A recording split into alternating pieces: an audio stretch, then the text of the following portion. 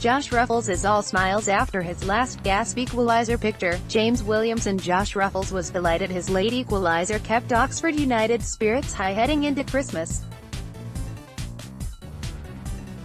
The left-back fired a right-footed shot in off the post in the 97th minute to earn a 2-2 draw at Doncaster Rovers. While a point was the least the visitors deserved, they were seconds from defeat. Ruffels admitted he had no idea just how close his effort had been to the final whistle, which went immediately after the restart. But he felt the result, which extended the side's impressive run to just one defeat in 16 games, had set them up nicely for home games with Southend United on Boxing Day and Bristol Rovers this Saturday. He said, I think if we had lost the game it would have been a real blow the way we played, so to come back in that sense is unbelievable. It only bodes well for the week we've got coming up.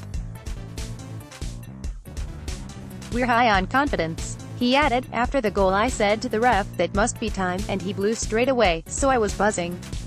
I must have been about 12 the last time I scored with my right foot.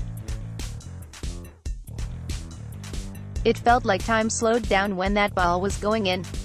While United are still waiting for their first league win on the road this season, it was the second time they had come from behind twice in a fortnight to draw 2-2 away.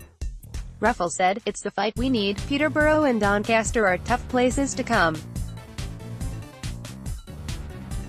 The team's spirit is unbelievable at the moment. For the 25-year-old it was a case of history repeating, having netted a 96th-minute goal against Rovers last season. He said, I can't believe it, the feeling is exactly the same. I'd only wish it was at the other end so I could celebrate with our fans, but we're just glad we gave them something to celebrate just before Christmas.